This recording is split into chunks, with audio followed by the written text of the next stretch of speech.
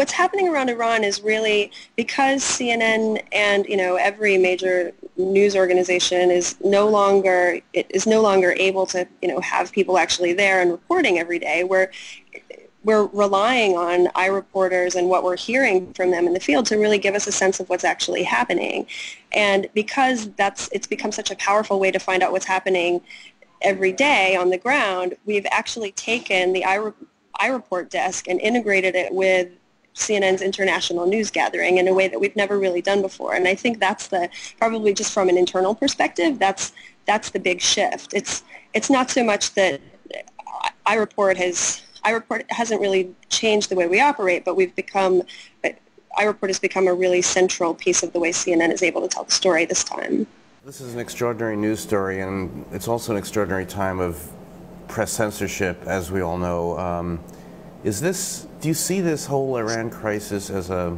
important moment in so-called citizen journalism or how mainstream media has evolved, or is there any sort of, you know, big picture here in your mind?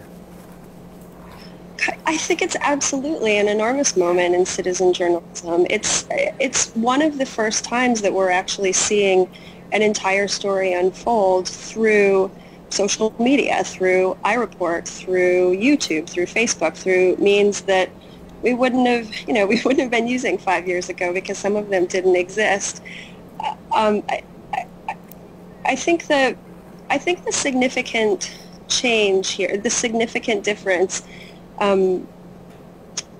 sorry, let me go back just a little bit. I, I, in some ways, one of the things that we talked about a little bit when this story sort of started to started to break and we started to you know hear about it and cover it in a very serious way was that it reminded us a lot of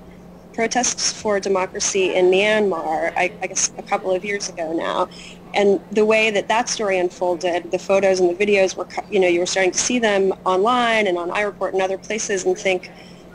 how can we really verify this information? What's, you know, what's, what's actually happening and how can we tell the story? And I, I think one of the differences in Iran is that there's so much more material that we're actually able to kind of verify independently events and things that are happening by going to more than one reporter and you know more than one person on the ground and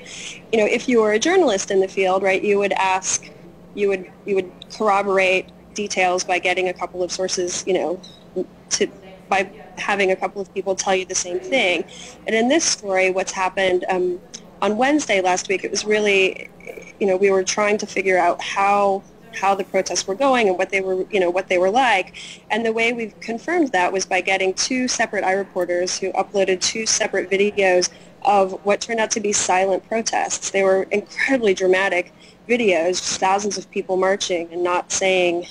anything. But the only way we really could confirm that that was actually happening was by going to two separate people and, and, you know, looking at two separate angles of the exact same event and talking to different people who were in the same place at the same time and, and, you know, corroborate those details and ultimately let us report the story. And I, I, think, I think that's the difference. It's actually just the, it's the absolute volume of material and the, and the ability to get in touch with people and, and find out what they're seeing.